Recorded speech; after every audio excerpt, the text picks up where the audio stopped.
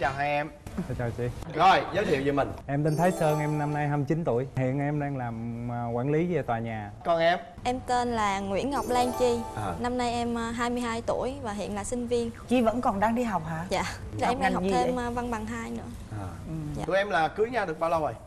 Dạ, Dạ 6 tháng. 6 tháng. 6 tháng làm ô cũng mới đây thôi. Dạ nhưng mà cái quá trình quen nhau lâu chưa? Dạ em tụi em là làm lẹ lắm anh. Đừng nói quen nhau 7 một tháng tháng. cưới nhau mà. Không có quen nhau có 4 tháng à anh. Quen được 4 tháng là ảnh xuống nhà em hỏi cưới luôn rồi. Chà dữ dội nha. À, cô sinh viên này khá là xinh xắn cho nên là chắc chắn là trong cái chuyện mà à, tình cảm của các bạn là chắc chắn là anh này là mê mẩn với cô này đúng không? Ai mà không thích cái đẹp anh? À Em gặp bạn này ở đâu? dạ không này thì để vợ em nói. Ủa là sao? Cách đây à, khoảng à, 11 tháng á Em gặp ảnh lần đầu tiên ở quán ăn. Lúc đó là ảnh đi ăn với người yêu của ảnh. Xong rồi à, em quay lại em kêu tính tiền á Thì em thấy anh này quen lắm luôn gặp ở đâu đó rồi. Cái em đi về em mới lật zalo của em ra coi thử. Thì ảnh với bạn với em cũng lâu lắm luôn rồi tầm cả năm trời em không thèm trả lời. Ừ. xong rồi tối đó em mới à, giả bộ nhắn tin hỏi là có phải anh đi ăn với chị người yêu không? Cái hai đứa nói chuyện qua lại. Rồi nói chuyện qua lại. Dạ cái ảnh kể với em là ảnh sắp chia tay với người yêu rồi ảnh buồn quá. Vậy đó hả? Chia tay mà có kế hoạch luôn á hả? dạ. Có hết chị nói sao thái sơn dạ thì cũng đang cãi lộn với bên kia cũng sắp chia tay rồi. Thì nhìn có đâu có con bé xinh xinh vô chạy vô hỏi mình. Vậy thì à, mình mới à, mạnh dạng chia tay. Mạnh dạn chia tay luôn. Chứ làm sao ảnh nói với em á là kiếm con nhỏ nào bạn em á là mai chảnh đi ảnh buồn dữ quá. Mà em thì bạn gái em nhiều lắm mà em kêu đưa số điện thoại cho là không chịu lấy cái ngồi nói chuyện với em biết vậy đó. Nói chuyện cái hồi cái hai ba ngày sau cái xưng vợ vợ gì á. Cái là ảnh nói hẹn là thứ bảy tuần này đi ăn với anh nha đi chơi bạn bè thôi. Ừ. xong rồi em mới um, đi. Rồi khi mà lên rồi gặp nhau thì sao chi cũng mắc cỡ tại vì em chưa bao giờ gặp cái kiểu mà chat trên mạng xong ra ngoài gặp thành ra em cũng run lắm. Mà gặp ảnh cứ nhìn em ăn mà cứ nhìn em cười em không em ngại không chịu được. Kêu đồ ăn ra anh không ăn nhờ anh nhìn em cười không vậy hả? Dạ em tưởng là mặt em dính gì hay là sao đó làm em ngại muốn chết luôn. Tại vì nhưng mà bình sau thường này nói anh nói chuyện là thì là rất dữ anh hiểu không? Nhưng mà ra gặp em cái ngồi giống như là e thẹn lắm hay này nọ mắc cỡ hay gì. Im re ăn cũng từ từ hay gì đó không mà tính em ăn thì từ tốn. Ừ. anh tưởng em diễn hay gì á. À. Nhưng mà cái ấn tượng của em gặp cổ ờ, ở ngoài đời á Thì là lúc đó cái ấn tượng của em chị biết chơi mạng mà Ừ. thường thường là 360 độ là nhiều lắm Ừ. mới đầu mình cũng lo sợ em này lấy em này đi vô trong 360 độ xong ra Cả. ngoài rồi có gì này nọ khác không tự nhiên mình ra mình nhìn thấy ờ cũng ok cũng xinh cũng à, mắt à, to rồi da trắng rồi này nọ. Tính em em thích trắng. Rồi từ lúc mà ăn nó cho đến lúc quen nhau là bao lâu? Tuần lễ. Yêu nhau á yêu nhau á. tuần lễ. Tuần lễ. Em Dạ. làm ơi. lắm. Tại 4 tháng là cưới rồi. Trời ơi, nóc ao dữ dội luôn. Rồi cái lúc mà đám cưới thì là có suôn sẻ không? em chuẩn bị là ngày hôm nay là xuống hỏi gia đình cưới em á là ba mẹ anh xuống á là trước ngày đó rủ gái đi chơi. Nghĩ sao mà ngày mơ đám cưới đám, hỏi người ta rồi bữa nay còn dắt người khác đi chơi vậy? Đâu có đi đâu. Thế sao Nhắn cái tin cái hỏi nè? nhà. nhắn tin thôi. Em nói là bây giờ trong tin nhắn là nhắn tin hỏi nhà em ở đâu? Anh qua chở em đi nha honey vợ này nọ. Rồi em điên lên lắm. Cái Đi xong lên rồi. em làm gì? em đòi chia tay. Rồi anh nói sao? năn nỉ khóc rồi nói lúc đó em bỏ đi tắm. Mẹ kêu là trời ơi, nó quỳ nó năn nỉ luôn á thấy thương lắm tha nó đi này nọ. Mà em đâu tin đâu chị cái xong rồi cái em của em cũng năn nỉ em giùm ảnh luôn. Rồi, rồi cuối cùng được hả sơn được chứ. Anh đến lúc ba em năn nỉ em á thì dữ ảnh quá mà chơi chơi quỳ thì em mới thanh Sao? cho? Mẹ năn nỉ ba năn nỉ em năn nỉ giùm luôn. Chiêu khóc á chị ba em thấy khóc ba em tội. Ta ba em có con trai mà nhà em ba đứa con gái được thành ra ba thấy tội quá. Cho nên ba mới à, năn nỉ em tin ba một lần đi ba lấy uy tín trách nhiệm của ba bảo vệ nó lần cuối cùng. Công nhận em siêu phàm sơn thiệt đó. Giờ chắc em về bên à, cưới rồi giờ chắc bên gia đình vợ chắc cưng lắm hả sơn dạ. Ba em thương ảnh lắm. Chị muốn hỏi bạn này nè Lý do gì mà em muốn cưới nhanh dữ vậy? em đi chơi nhiều nhưng mà em thích một người nào đó phải hiền. Ừ. ít đi chơi. Tại vì mình đi Ngoan chơi nhiều mình không em nhiều khi em cũng em đi chơi đâu anh. Thời đó 10 năm trước rồi còn đi chơi chứ giờ hết đi rồi. À, Ừ. thì giờ thì nói chung là em vậy nên em thấy vợ em ừ ok vậy thì em thích. Mà em thích thì em làm liền. Làm liền xin cưới luôn. Dạ ừ. em tính em á thì em đi học xong bây giờ nhà em ờ, ở nhà thôi chứ không đi đâu chơi hết ảnh kiếm người theo dõi em mấy ngày liền á chứ đâu phải dễ đâu chị. Khó Vậy hả? kiếm tám tử theo dõi luôn. Thì qua bển nó ngồi hai ba ngày vậy á. rồi có Thì phát hiện ra điều gì không? thì sau mấy ngày đó thì ok thì vẫn là đúng là như vậy. Ừ. thì em nói ờ vậy con gái thì cũng được rồi. Trời ơi, Cưới cưới luôn cho rồi. á. Ảnh nói á là anh gặp em là anh mê em dữ lắm mà anh không thể bỏ lỡ được em. Mà sau này em mới phát hiện ra là đi canh chừng em vậy luôn chị Nhưng mà vậy khi mà em biết ảnh canh chừng em như vậy thì cảm giác em như thế nào? Ai canh em thì canh ai muốn tìm hiểu gia đình em sao cũng được em là vô tư. Rồi nghĩ sau vậy. khi à, đám cưới em vỡ mộng gì để chồng em có những gì thay đổi không? Kể miên man luôn không hết chuyện. Thôi kể những cái gì mà nó ghê gớm nhất á. Ừ. tiếp tục 4 tháng sau khi đám họ đám cưới á thì ảnh lại à, nhắn tin với cô gái khác nữa.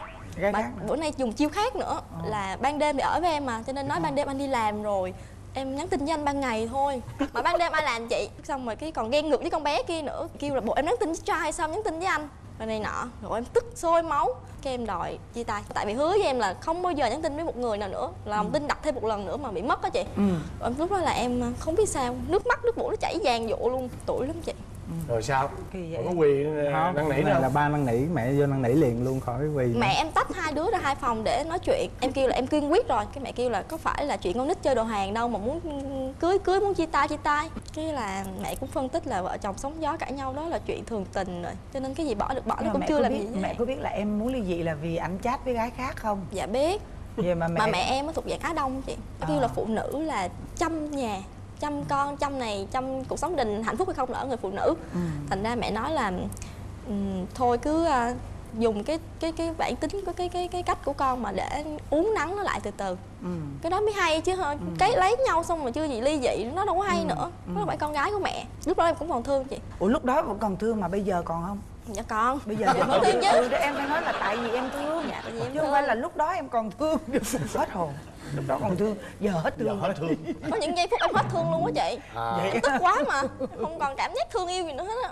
Rồi sao? Sơn nói chung là em bình thường thì em chỉ nhắn tin chơi vậy thôi chứ thật sự là cũng chẳng có gì. Nhưng mà theo quan điểm của em á tất cả mọi vấn đề đều từ tin nhắn mà ra tại vì ảnh quen với em từ tin nhắn gian À. mạng ra. Giờ chị hỏi em nè ví dụ giờ sơn lặp lại thêm lần nữa thì em có bỏ qua nữa không dạ chắc không chị. Gì cũng quá tam ba bận cũng không có thể nào mà cứ vị tha hoài. Vậy tại vì là em sống rất là đàng hoàng. Em nghĩ sao thì nói chung là cứ sợ Tại là anh em này nọ không thật sự vợ em thì cũng ít ghen lắm. Nằm mơ luôn à chứ không bình thường. Nhưng mà nhiều thật khi ra đang nằm ngủ vậy giật mình như vậy. Em đi chơi với gái không mình thật sự em, em cũng suy nghĩ là em thời gian nào để em đang đi chơi với gái. Làm xong là em đi về nhà chứ em không giờ mà em đi chơi bạn bè tụ tập thì cũng thằng năm chắc được mấy lần á cái đó thì em xác nhận. Em thì em cứ không có ở thích nhà đi tụ tập vậy nhưng mà mà vẫn còn bị ghen nữa. Nhưng mà có nhiều đêm về nhà ôm tivi coi điện thoại rồi này nọ tới ba bốn giờ sáng mà không thèm quay qua ôm em ngủ bực mình kinh khủng luôn. Vợ chồng vậy. em gây lộn tại chị dân với anh thuận nhiều lắm. Sao vậy? Sao vậy cưng em coi chương trình này nè. Coi tới hai ba giờ sáng cứ coi hoài coi hoài vậy đó. Coi hết ờ coi hết xịt coi hết xong rồi giải quay quay. Giờ có ngủ hay không? À, em hỏi nhẹ nhàng lắm chị danh có đi ngủ không cái là bình thường mọi ngày thì kêu là tắt đi điện thoại đi ngủ. Cái nhiều khi biết bị ai nhập hay sao trợn mắt lên nhìn em. Em mệt đó đi này kia nọ biết coi gì mà phải giật mình với em như vậy hồi nãy đó à, sơn mới nói là coi chương trình vợ ông son đó. Cái đó em là- muốn hỏi là hai vợ chồng em ai là người chủ động đăng ký tham gia chương trình này? Ảnh em có coi đâu mà em biết. Sơn muốn tham gia chương trình này với mục đích gì? Thì vợ em cứ nói là em đi chơi đầu này nọ hoài giấu giếm quen người này người nọ giờ sẵn lên sóng truyền hình là ai cũng biết. Ừ anh có vợ rồi khỏi mất công đi đâu nữa. Giờ có cô gái cô cũng không được nữa đó giờ là mục đích chính của em. Dạ đúng rồi. Ảnh đặt cọc em tại trên bình thường á. là cứ là nói em ừ sao che giấu cái vợ gì. Nói thiệt em có vợ là em cứ la lên làng ai cũng biết á. Mà em giờ- em xác định chừng nào có em bé? Chắc cũng phải 2018 rồi. Dạ em còn Dạ. trẻ mà. Hai ba năm đó thành vấn đề. Có em già em sợ thôi chứ. Mấy cái đó là chiều theo ý của Dạ. vợ đúng không? Chứ còn trong sâu thẳm trái tim của em thì em muốn có con không? Chung vợ em cũng còn nhỏ lớn lên tí thì mới khỏe. Không dám đâu em mà nhỏ em không có ở với ảnh lâu được. Hồi xưa không dám nói với em một tiếng nào lớn tiếng hay trợn mắt bây giờ không trợn mắt lên nạt nộ em. Biết là những người nào mà gọi mà nhầm số. Rồi anh trợn mắt lên anh ghen chưa em đó lúc đó em chưa bắt máy. Thằng nào gọi mà không chịu bắt máy. Mà lúc Sơn đó. ghen dữ vậy đó hả Sơn? à, nhiều khi em cũng ghen lắm. Mà ghen trong ngày chị Cái trong ngày là trong sao? ngày thôi hả? Là sao? à, xong cái đó là thôi chứ. Bây giờ em còn có suy nghĩ là kiếm đứa nhân viên nào đi theo dõi vợ nữa không? Nếu Không. như trong trường hợp sau này vợ em đi làm. Cái chuyện đi làm nan giải với em luôn. Sao? em muốn đi làm. Ảnh nói là đi làm thì em nắng nôi quá tội nghiệp em. Để đó cho ảnh mà em tiện tính của em. Ba mẹ nuôi em là em đã cảm thấy em xấu hổ. Mà bây giờ đến khi chồng nuôi nữa thì em nói thiệt em cảm thấy như mình ăn bám cái này nọ gì á với chồng á. Gia đình chồng kêu qua làm em cũng làm luôn em không thích cái xong rồi cái à, em cũng đi sinh ở ngoài mà tính em thì ra nắng á là em cảm thấy em mệt ảnh la lên là không làm được cái gì tích sự gì hết á, nên đừng có đi làm nữa. Mà nói câu đó thì em thấy mình còn vô dụng ác nữa. Thành ra em còn quyết tâm đi làm cho bằng được cãi nhau suốt cái vấn đề đó. Mà anh không muốn cho em đi làm hay sao? Dạ không muốn cho em đi làm. À, hồi đó em xin vô làm thư ký văn phòng cho công ty kia kìa. Cái ảnh nói là làm thư ký ờ, bất cập đi xếp suốt ngày này nọ làm sao mà có chồng làm còn vậy vậy vậy vậy. Cái là ảnh la lên một cái. Nghĩ. Em thì em chồng không thích thì em thôi ừ.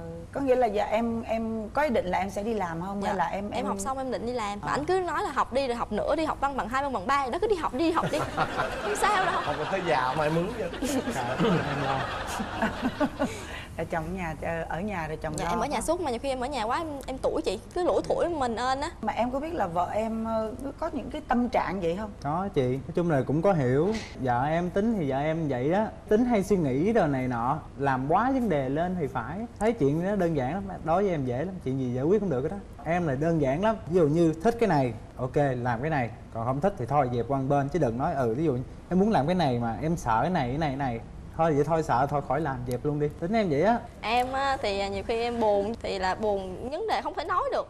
Nhiều khi buồn ảnh thì cũng vậy hay là buồn gia đình ảnh cũng vậy làm sao em nói được? Xong rồi em chỉ nói là em buồn quá bực mình hay sao á. Ảnh một cái cái em tủi em khóc liền à. Thôi bây giờ tóm lại điều em mong muốn ở Sơn thay đổi điều gì? em chỉ muốn ảnh á là đừng có mà nói chuyện với em thô lỗ cọc cằn kiểu mà trợn mắt lên nói chuyện với em quan tâm em xíu là em cảm thấy ok rồi. Có mong muốn là sau này ảnh phải ủng hộ em cái việc đi làm bên ngoài không? đi làm để em chắc chắn phải đi làm rồi để còn lo gia đình của em rồi lo gia đình của hai vợ chồng sau này nữa chứ làm sao mà cái kiểu mà cứ ngồi sau lưng chồng ăn ăn ăn ăn mà nhiều khi cầm tiền chồng mà cũng rưng rưng nước mắt sao chị? Cái đó em sợ lắm. Ừ. Thế em mong muốn giờ em thay đổi điều gì? nói chung là ít nhõng nhẽo là ít nghĩ sâu xa hay là làm quá sự việc lên á. Nói chung muốn gì thì cứ nói. Ừ giải quyết lẹ. Trời ơi chị chị thấy gì nè Chồng em á Thứ nhất là lớn tuổi hơn em Nhưng mà ảnh á thì lại Con người ảnh lại đơn giản. Không có phải là cái kiểu mà Bắt mọi người phải đón ý mình. Cái dạng đúng kiểu là cái người mà Nghĩ sao nói vậy. Đó Còn em á lại là Muốn chồng là ông bụt phải hiểu ý của mình là muốn cái gì Chứ còn không có muốn mình tự nói ra Hiểu? tại vì lúc đầu Anh phải tự ảnh hiểu em muốn quá cái gì. luôn. Đó Lúc đầu á. Không phải tại hiểu quá nên biết cái vấn đề nó chẳng là gì hết á vì làm quá lên thôi thì đó ở đây cái vấn đề đó nó va chạm là ở chỗ đó còn á cái cái cái cam go của em ở đây là đã cái người mà hay suy nghĩ mà em để cho ở nhà từ sáng tới chiều á là cái sự suy diễn nó tăng lên gấp 10 lần cái người bình thường Trong em hiểu không? Thì bây giờ á cái việc của tụi em á là em đừng có nhốt nó từ sáng tới chiều. Không em cho đi mà không đi. Nghe là giả em thiệt luôn. Đúng là em sợ vợ em tiếp xúc ở ngoài á sợ chưa có quen va chạm á cái điều đó là đúng. Nhưng mà sợ là một chuyện nhưng mà phải cho va chạm. Thất bại một hai lần á thì mới lớn lên được. Vấp ngã đi rồi em sẽ trưởng thành thôi. Rồi, ve cái đi, ai trong em đâu có gì đâu phải về. Thôi. Thường thường thường thường là em chỉ có ôm và hung vậy thôi. Đó, đó, Đó, thể hiện ôm đi, đó, thể hiện, đó. Rồi, cảm ơn em. Dạ. Nha.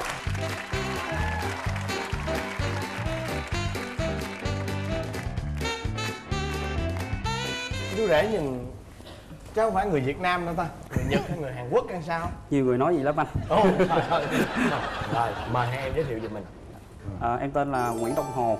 À, năm nay em 29 tuổi. À, em đang công tác tại một công ty du lịch. Rồi, còn em? Em tên là Nguyễn Thị Cẩm Tú, à, năm nay em 30 tuổi và em làm bên ngành marketing. Chứ hai em à, quen nhau như thế nào? Dạ, tụi em học chung lớp anh. Nhưng mà trước khi học chung lớp tụi em có gặp nhau ở trong một cái lớp taekwondo. À, hả, hả, hả? đi hai đứa đi học võ luôn hả? Dạ, Rồi, à, hai đứa là học chung lớp là lớp gì? Lớp ờ, dạ lớp chuyên ngành marketing anh. ai để ý ai trước? Không ai để ý ai lần đầu gặp ấn tượng xấu về nhau không? Xấu cỡ nào? Nói chung là xấu tới mức là không có ấn tượng gì. Rồi sao mà đến được với nhau? lần đầu tiên gặp á thì cũng không ấn tượng gì về bạn này nhưng mà sau đó thì trong một lần à, tụi em à, thi cuối khóa của taekwondo á bạn này kêu nhờ ra à, tập dùm mấy bài để bạn đấm đá một cái bạn này đá được mấy cái thì em đỡ một cái thì trật chân sau khi thi xong rồi về tối gọi điện mắc đền Đến gì? Không chịu đền gì hết, cho nên là em spam điện thoại. Rồi đến bao lâu thì các bạn đến với nhau? Cũng gần một năm anh. yêu nhau mấy năm dạ khoảng 5 năm hai bạn là bạn nào ghen hơn bạn nào Bạn này chắc chắn là không ghen rồi đúng không? Bạn này nhìn hiền quá mà ai cũng tưởng vậy nhưng mà không phải vậy. Không phải vậy hả đồng hồ thôi này để em nói đi. Khi vợ em về quê á, thì có một lần em đi cà phê chung với lại bạn thân của bạn này. Bạn này sau khi mà biết được á khóc lóc rồi đòi chia tay này nọ kia.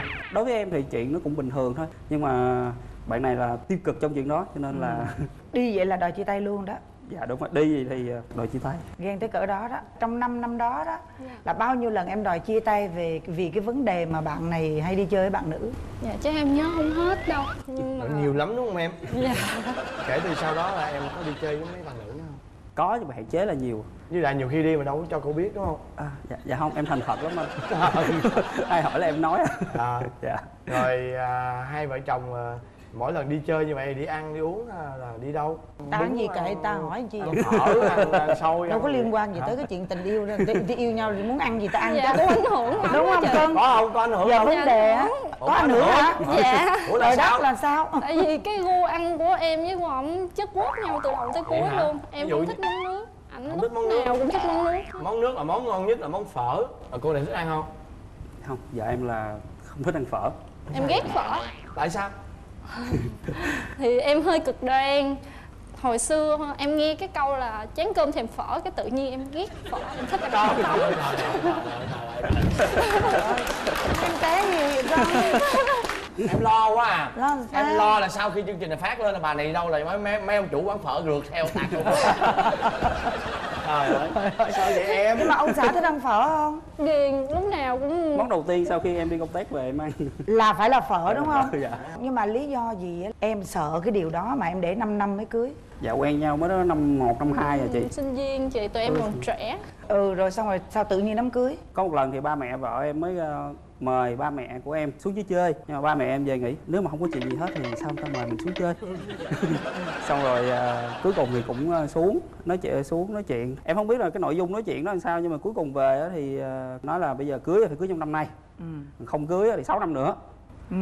Xong cái ờ, hai đứa định cưới trong năm nay. Là cưới luôn đó. Ờ. dạ đúng rồi. Không nghĩ là em sẽ Ờ. cưới. Ờ. rồi, rồi sau khi cưới về thì anh này còn thích ăn phở. Ờ, không phải thích ăn phở mà còn ờ, giao du với các cô gái còn quen với bạn gái không? nữa không? Nói chung là lúc nào bạn ấy cũng có những cuộc vui. Cuộc vui như thế nào? Ví dụ như là em mới cưới có hai ngày thôi có người alo đi ra ngoài cà phê coi đá banh. Thế là đi một hai giờ sáng rồi Ừ. à, có rất là nhiều nhóm bạn à, hai tư sáu ba năm bảy chủ nhật gì đó bóng đá cầu lông offline này kia. Mà thường dân đi du lịch rồi có hay đi phượt được không? Dạ cũng có chút chút anh. Trộn nghiện. Em có nghiện không Ờ, em thích đi bụi chứ em không thích đi phượt. Đi phượt nhưng mà nè đi phượt là đi với ai? Đi với rất là nhiều nhóm anh. Có gái không? Nhóm đi phượt thì cũng phải có cả nam cả cũng nữ có nam có nữ anh. Nhưng mà nhóm phượt của ảnh lâu lâu á, em cũng phát hiện ra một số vấn đề ví dụ. Ví dụ như là bạn thì bạn nói bạn đi công tác sẵn tiện bạn đi phượt.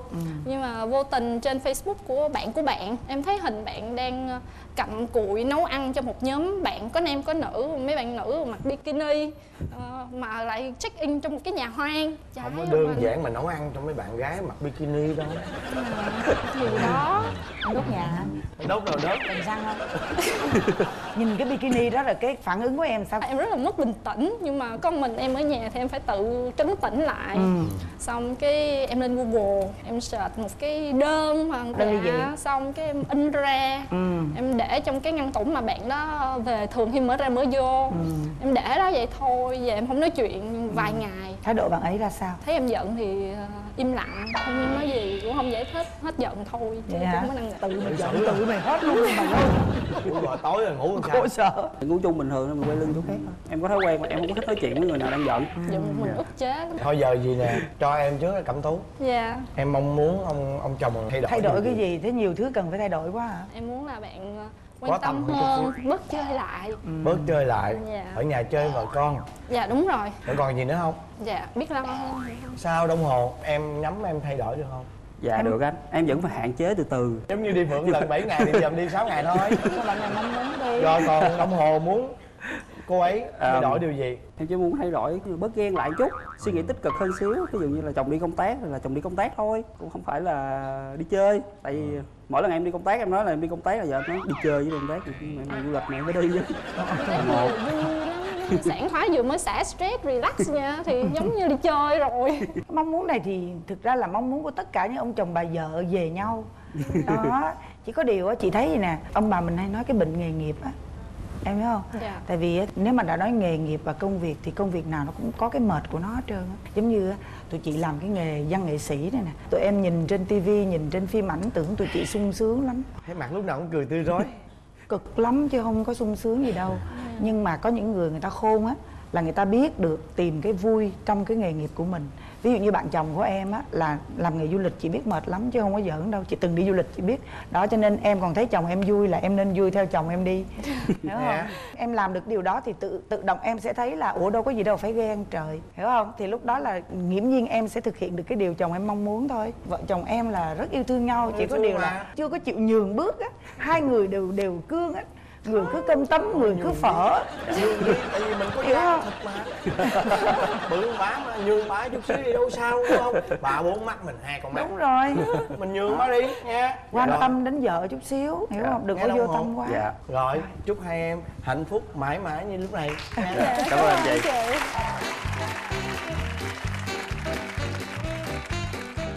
Rồi chào hai em. Mời em giới thiệu về mình. Dạ, em tên là Nguyễn Phạm Kim Trung, là giáo viên dạy cấp 2 ở Phú Giáo Bình Dương. còn em Dạ, tự giới thiệu là tên là Dương Vương, năm nay 24 tuổi, cũng là giáo viên tiếng Anh ở Phú Giáo luôn. tức là hai, hai hai bạn này là coi như các bạn sáng nay là từ bình dương lên Dạ, dạ, từ Bình Dương lên là dạ. Dạ. ồ quý hóa quả cho một tràng pháo tay nào Ôi, thay mặt chương trình đó, cảm ơn à, hai vợ chồng em rất là nhiều. Hy vọng là trong cái buổi tiếp xúc này á, chúng ta sẽ có một cái buổi trò chuyện rất là thú vị À. và rút ra nhiều những cái kinh nghiệm cho các cặp vợ chồng son khác. Thuận à, hình như là các cặp vợ chồng ở xa lên đây á thì ekip của mình là lo chỗ ăn chỗ ở cho các, đúng các vậy bạn đúng không? có đầy đủ hết thưa quý vị các cặp vợ chồng từ phương xa khi mà đến tham dự chương trình vợ chồng son thì chương trình sẽ hỗ trợ cho quý vị à, làm à, nơi ăn à, ở đó rồi, rồi bây giờ hai em giới thiệu à, cho tụi anh biết chắc là hai em là đi dạy chung trường và gặp nhau và yêu nhau đúng không? Dạ không, vợ ở đầu xóm, em ở cuối xóm. Biết nhau là nhà có đạo á Thì ờ, cũng đi học giáo lý chung, đi lễ chung. Rồi sau đó thì ờ, học lớp 1 chung với nhau nữa Và cũng biết nhau từ đó cho tới ờ, học đại học thì cũng học chung trường Có một cái bài cũng học chung luôn. Trong văn chương ta gọi là thanh mai trúc mã dạ đúng rồi. Rồi sao? Ai để ý ai trước? Dạ, hồi đó thì cũng con nít thôi, thấy con vợ thì cứ tròn tròn cũng mỉm cũng dễ thương lắm. Hồi mấy anh họ thì ờ, thấy ờ, vợ dễ thương nó thôi mày mày mày ghè mày thích nó đi. Cái là mấy anh cũng chỉ cho cho cái lớp mấy lớp mấy? Cũng lớp 1 luôn á. À, lúc đó bạn này có thích bạn này không hay là Dạ không, ghét lắm. Trời ghét, ghét căm thù luôn đó căm thù luôn bạn thù luôn căm thù bạn này luôn Bạn hả? này căm thù bạn này Tại vì bạn này hay nghịch bậy đó. nghịch bậy là sao Hồi năm lớp 1 á, thì mẹ chở đi về bằng xe đạp á. À, lúc đó là em mang một cái đầm, xong rồi có cái nơ ở đằng sau á. Bạn này mới là đuổi theo. Đi cái nơ đó là em rớt luôn xuống đất. Trời ơi, bạn thích người ta mà bạn làm những hành động mà nó nó bạo lực dữ vậy bạn. Nhiều lần lắm rồi thêm một lần nữa là à, đang đi trong sân trường là úp nguyên cái sọt rác lên đầu em. Vậy. Chơi bạo lực là còn dơ bẩn. nói chung là cái cái cái cái mối tình của các bạn rất là thú vị ha. Đến khi nào thì em mới theo đuổi mà cua cô này một cách nghiêm túc? Chung là từ năm lớp 8 á, là đã biết thư rồi lớp Viết trong lá thư đó là mình chắc chắn mình sẽ cua được bạn. Ờ vậy hả? Khẳng định Nói vậy đó. Rồi còn hung á thì bạn nào hung bạn nào trước? hung thì tới hè năm lớp 11 lận. Mấy đứa anh em á thì đi tập tập thể dục buổi sáng năm mấy thì đi, đi trong cái con hẻm. Cái anh chạy ở sau chạy lại cái nắm đầu gọi lại hung cái chạy mất tiêu. Em diễn tả là anh không hình dung được đó. Diễn tả với nè đang chạy qua dạ nhưng mà nè khi mà ở cái độ tuổi đó tụi em yêu nhau vậy thì gia đình có biết không viết thư là hai gia đình đã biết rồi Hồi nhỏ là hay nghịch dại cho nên là ba mẹ không có thích. Ờ. Nên là cấm. Với lại lúc đó cũng đang còn nhỏ nữa. Rồi bên gia đình em thì sao? Cũng nói học không là học mà thương thương gì. Rồi à, sau khi tụi em học đại học thì, thì cái tình yêu là như thế nào? Thì cứ mướn nhà trọ thì hai hai hai phòng đối diện nhau. Ừ. từ đó như hàng xóm gì đó thì cứ qua lại nấu cơm rồi ăn chung rồi ai bệnh tật thì kia thì ờ, qua giúp. Thì từ đó tình cảm nó mới ờ, lớn dần lên. À, yêu bao lâu thì mới cưới nhau? Dạ 10 năm. chắc chắn là trong cái giai đoạn mà đám cưới thì chắc không có gì khó khăn đối với các em đúng không cái đó vợ kể à, vậy chung kể chung chung kể chung. Là cái thời gian mà còn nửa năm nữa là đám cưới á. Cái lần đó là ảnh tới nhà em chơi. Cái vô tình là mình bật điện thoại của ảnh lên, bật mạng lên Thì tin nhắn của cái cô đó đến Mà gọi anh này là ông xã? Trời ơi rồi. Thì lúc đầu là anh cũng hùng hổ lắm. Như kiểu là anh đây là vô tội, không có chuyện gì hết. đúng rồi mà. Nói chung là em không biết nói gì luôn. Quyết định là em đòi chia tay với anh này. Em không rồi em làm cái gì để níu lại cái bà xã giận lên bà xã khóc quá trời luôn thì cứ năn nỉ rồi à, hủy facebook của bạn kia rồi xóa xuống nói chung là không còn một cái một Không cái, còn cái, nữa. cái, cái cái dấu tích gì của bạn đó Rồi. hết trơn á kể từ đó về cho đến khi đám cưới luôn là không bao giờ là ảnh không còn cái cái thói đó nữa đúng không dạ là Anh hiền luôn rồi đó làm gì có hiền không Đó, anh thích nói chuyện với con gái không. nói chung là bạn này có cái tật là ga lăng với gái chát chít với con gái. Thì đâu có chuyện gì để chat với con trai.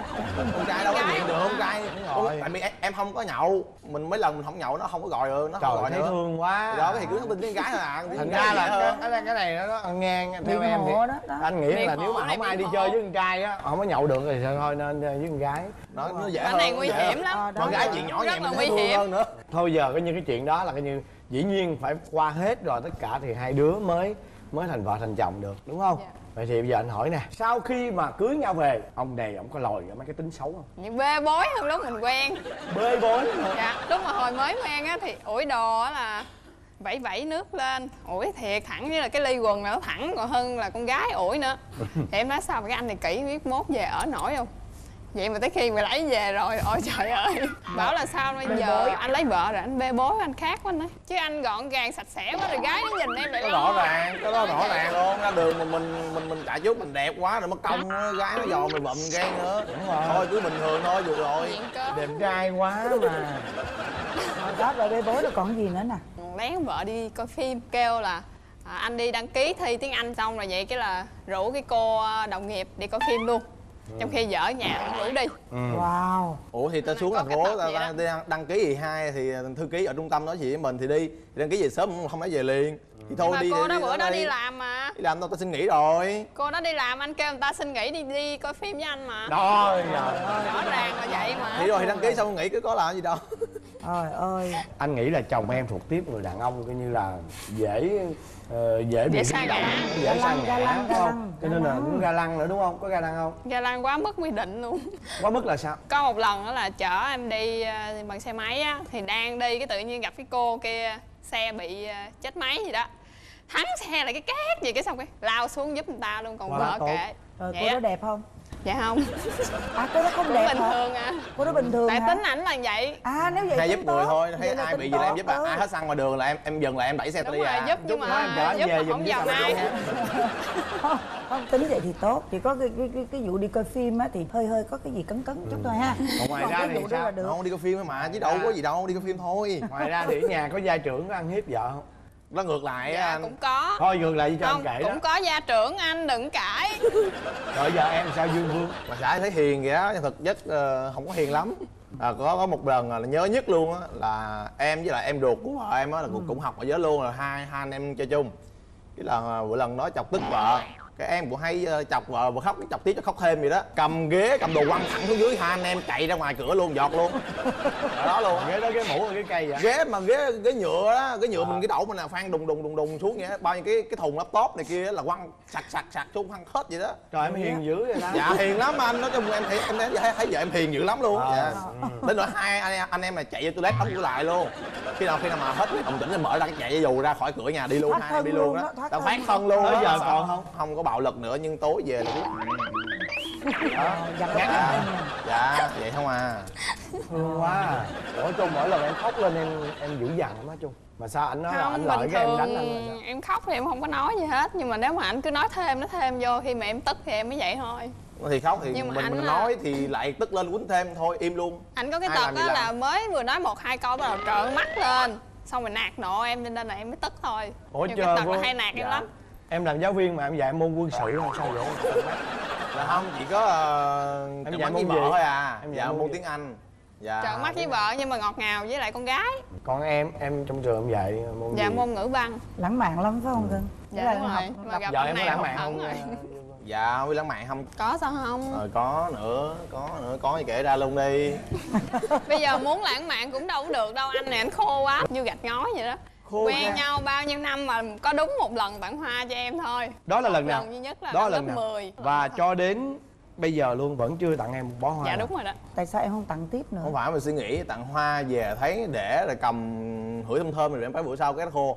Khô cái quăng bỏ là cái tình cảm để trọng cái thành qua quăng tình cảm mình cho sọt rác cái thôi thôi vẫn mua áo quần gì hay mua quà tặng đi nó thật hơn. Nhưng mà chị hỏi này em có biết là vợ em thích hoa không? Chắc cũng biết đó nhưng mà sau không? sau lúc đại học thì vợ không thích hoa nữa. Phải không? Chứ cứ thấy ai bán hoa nói thôi không mua đâu tốn lắm giả đi bộ ăn nói đi. vậy có ảnh sao thôi á. Em em Mà không không biết cái bài mà mà của phương thảo ngọc lễ hả? Con con gái gái nói có là không. cũng thiệt thiệt lòng ấy thiệt tình lắm nghe không là không à trời ơi nhưng mà bây giờ bữa nay em có đáng. em em có hiểu được là vợ em rất là thích hoa không? Dạ dạ hiểu em, rồi. em nếu như bây giờ cho em một điều ước em ước gì? Có khi nào em ước trời giá như bây giờ chồng mình tặng mình một bó hoa em ước thử. có. Có ước gì đó. thì ước đi thì ước đi. anh nghĩ chút nữa ước đi. Bây giờ mình nói Giờ chuyện ước chia sẻ tại có vì rồi. ờ đúng rồi. Đó tới tội nghiệp không? Nói giờ ước biết không có rồi kìa. Giờ ước không có đâu. Thiệt. Xíu bục hiện lên mà. Rồi. Để nghe. Nhà cho em bó hoa. Thôi mà để cho Ôi, người ta tự đâu em không em thích hoa tươi không thích hoa đi này. ra đây vô đây tao chỉ cho. Vô đây nè. Vô đây nghe. Rồi em nhắm mắt lại đi.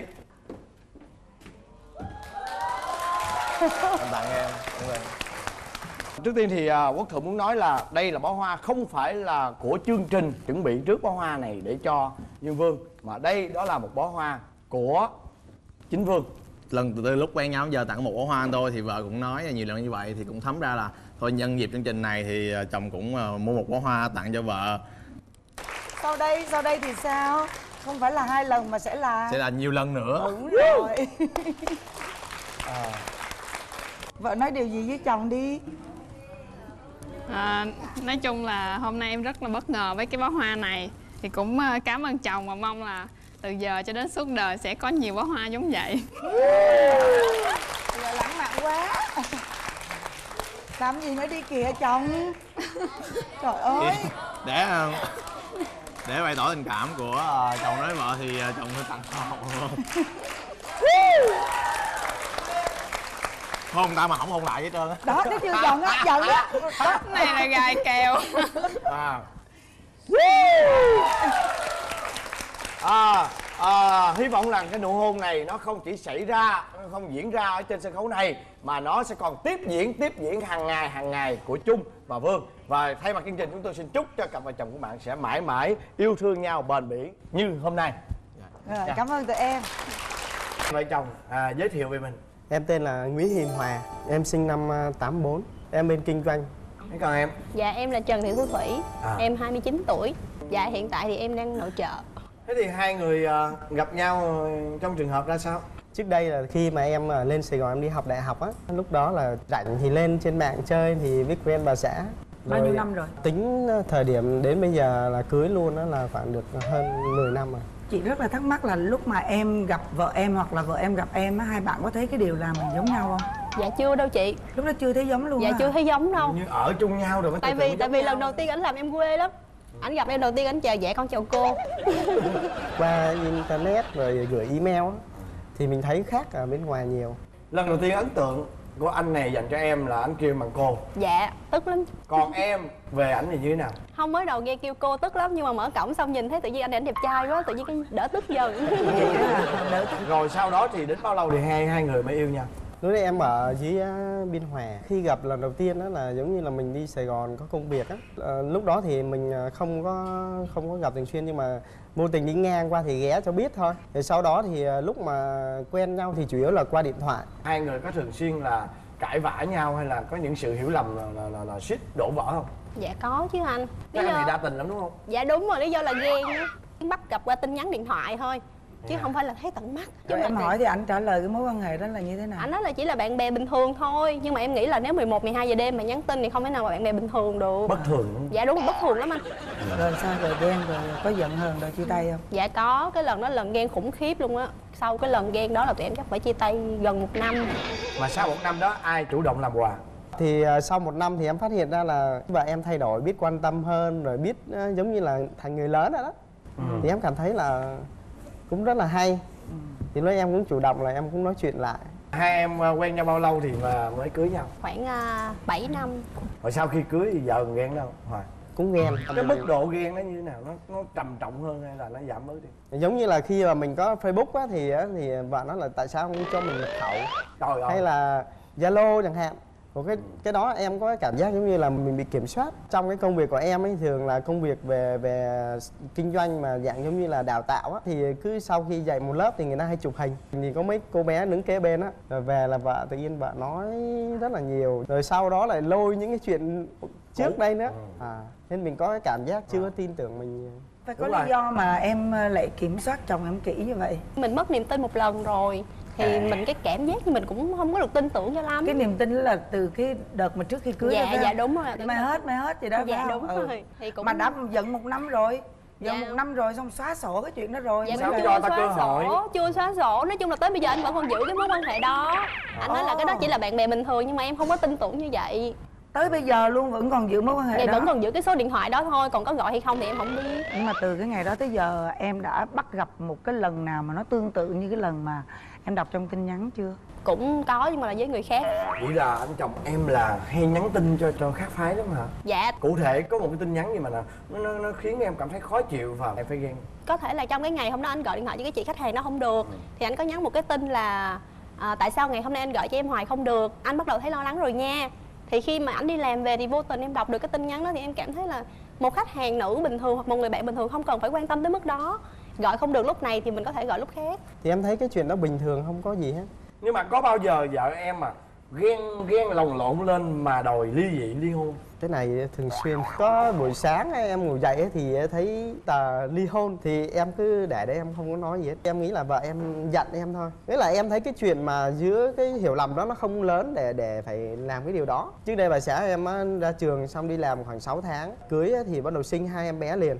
Nên em em hiểu được cái cảm giác là giống như ở nhà đó không có đi ra ngoài. Ở nhà suy nghĩ nhiều á nên em thấy cái chuyện đó em không có lo lắng em thấy bình thường. Ừ. thì vợ em cảm thấy là giống như là không có tôn trọng cái vấn đề đó. Em mỗi lần em viết đơn ly hôn vậy là thực lòng muốn ly hôn thiệt hay là chỉ muốn một hình thức là cảnh Dằn tỉnh mặt. dạ không cũng có lúc là muốn ly hôn thiệt. Giống như cái tính của em á là chẳng thà có thì phải có cho trọn vẹn. Còn nếu không thì mất hẳn cũng được. Có một lần gần đây nhất em viết là em viết cái tâm lý là ly hôn thiệt luôn.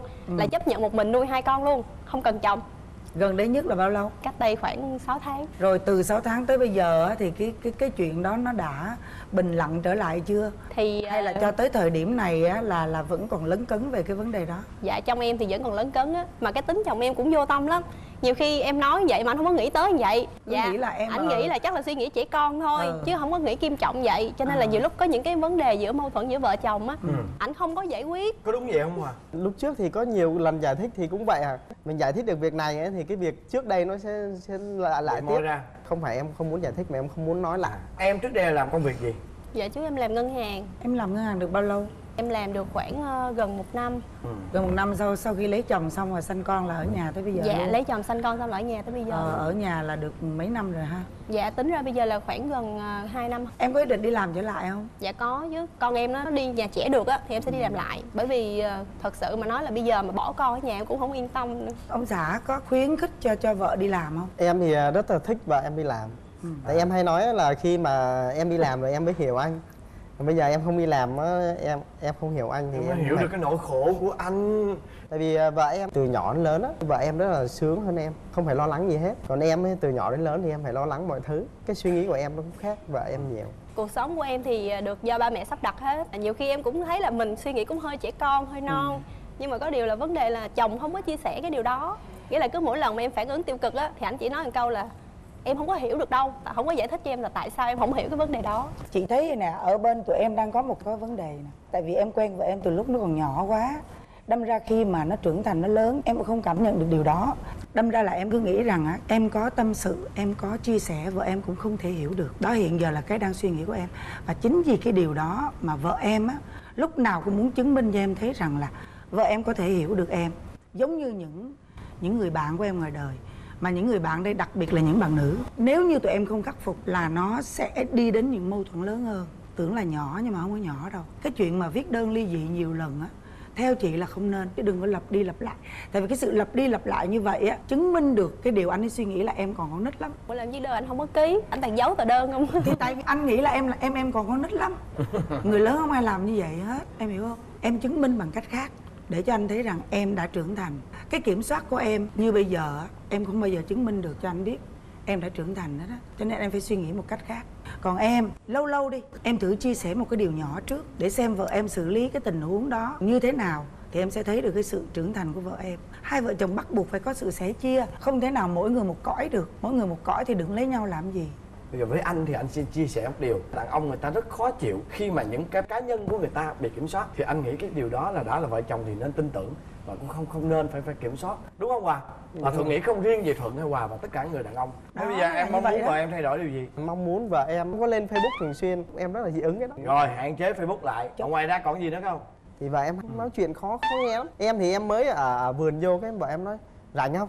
À, gấp quần áo đi là em á, thì rất là muốn giúp nhưng mà nghe cái câu là rảnh không gấp quần áo đi thì em Trọng có trọng cảm không? giác Trọng trọng nó nó không không có thực sự là mình muốn làm việc đó Tức có nghĩa là muốn vợ mình à, Nhẹ nhàng. đừng, đừng có nói trọng nữa đúng Mà rồi nói nhẹ nhàng và mỗi lần muốn cái gì là cho ổng cục kẹo Tức nghĩa là ngọt ngào xíu đúng không? ý tứ một chút Còn em? em chỉ muốn là bận thì bận nhưng mà phải sắp xếp thời gian để dành cho con rồi à, nữa là đi làm về mệt đó thì cũng ráng chơi vợ con chút xíu đi còn anh về anh ngủ liền à ngủ mà ngủ ly bì ngủ suốt luôn á. Ngủ như không cần ai luôn không cần biết ai xung quanh hết cố gắng dành thời gian cho vợ con một chút. Nha với lại bớt nóng tính đi ảnh cọc tính lắm mỗi lần mà anh nói em nói vậy anh không vừa ý bắt đầu anh quát nạt lên anh làm sợ lắm Có giờ quánh em là, không? là em phải ý tứ đó em phải ý tứ một chút cho Có bao anh giờ đó quánh em. em không? dạ không không có quýnh em mà giận lên đập đồ không mà Ừ. Mà giờ còn đập không? Nghe giờ Hòa. có con hết đập, đập rồi xong rồi giờ Tự mua lại mua lại nó à. tức lắm luôn á nghe chị thấy vậy nè cái điều mà vợ em à, mong muốn á em cố gắng chút xíu đi biết là mệt đó nhưng mà em cố gắng chút xíu đi dành cho con với vợ. Một chút xíu thời gian của của riêng mình một chút. Còn em á muốn chồng em bớt cọc tính á thì ăn nói ý tứ một chút. Chồng em thích ngọt đó nãy mới chia sẻ đó. Nghe. Đúng không? Dạ. làm được đúng không? Dạ được. Nhiều khi ngọt ngọt thêm đứa nữa đó